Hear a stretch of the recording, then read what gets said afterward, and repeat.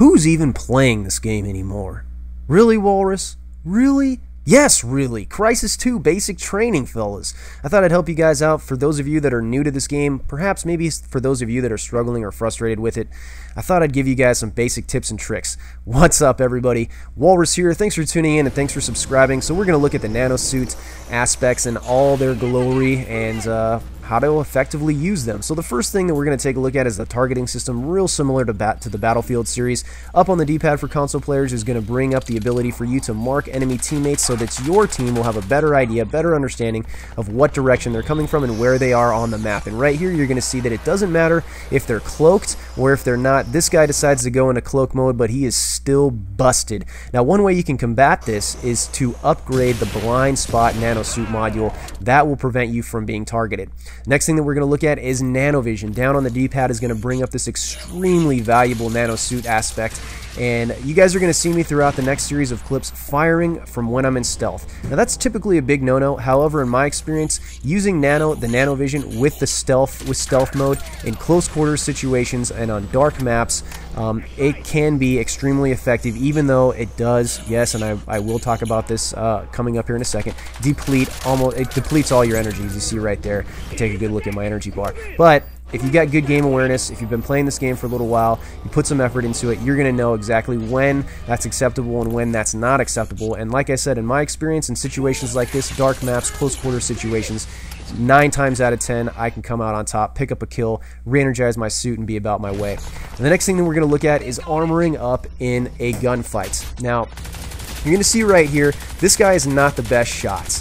However, if I wouldn't have armored up, if I would have hesitated right there, um, I probably would have been done for. Luckily, I'm able to armor up, uh, get a couple of bullets into him, re-energize my suit, reload, and win the gunfights. That's really what it all what it comes down to, you guys. I don't exactly know um, what it is about Crysis 2 or the assault rifles or the weapons that I primarily like to use, but the recoil is amazing and it's a lot of fun.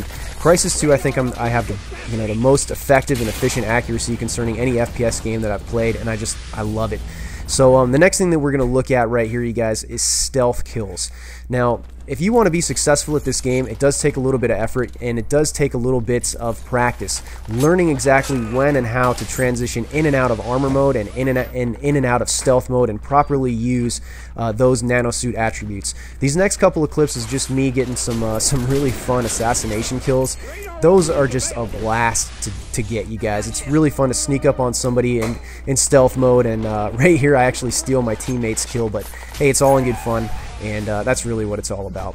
So right here we're going to take a really good look at exactly what I mean by transitioning effectively in and out of stealth and in and out of armor. So I'm in stealth, I go ahead and see, I see this guy right here, transition into armor mode, and then look at my energy bar. I got plenty of energy left over to transition back into stealth, evade this guy that's shooting at me, pick up my dog tag, continue my kill streak, and go about my way. Now let's look right here what happens to your energy bar specifically when you shoot in stealth. So um, luckily, I've got a teammate helping me out. I'm able to win this gunfight, but look at my energy bar. I have no energy left over, and if there would have been another another enemy teammate around the corner or in, the, in close proximity that sees me, one or two bullets, and I am out of commission. My kill streak is gone, and I'm dead. Next thing that we're going to talk about is your secondary. Now in this particular game I'm using Loadout Pro which allows me to uh, to use another primary weapon as my secondary and I like to use the Jackal if I use this uh, particular suit module because um, quite often I'll find myself in close quarter situations. I've got extended mags on the Scarab right now and I empty just about the entire clip. Definitely not going to win this gunfight with that Scarab. Switch to the Jackal and I'm able to pick up a nice two-piece. Um, got my armor up and this guy can't hit the broadside of a barn. Luckily, I was able to, to go ahead and continue my kill streak in that situation. Right here, I get a couple of bullets after I pick up my first kill into the second enemy. Instead of reloading, I armor up, switch to my automatic pistol, and I go ahead and pick up a nice another two-piece. Now, the next thing that I wanted to discuss with you guys is the importance of movement. Now, we've got the slide attribute in Crysis 2, and it's a lot of fun to use. You can melee in it, as you saw me do right there. You can shoot while you're sliding. It's just a whole lot of fun to do, and it makes it makes it really difficult for enemy teammates to hit you when you're when you're sliding and when you're up in the air like I am right now. Go ahead and switch to the secondary and uh, outplay my opponent. So there it is, you guys. Crysis 2 basic tips and tricks concerning the nanosuit and how to use it effectively. For those of you guys that enjoy this game on a consistent basis, for those of you guys that don't, please leave me some feedback in the comment section. Share your thoughts and opinions with me concerning this game. And for those of you guys that are not playing this game, hopefully this video will entice you to give it another try, to go rent it, to go buy it, whatever. Because once you get the hang of it, once you put the effort into it and develop your skill concerning Crysis 2, man, oh man, it's fun.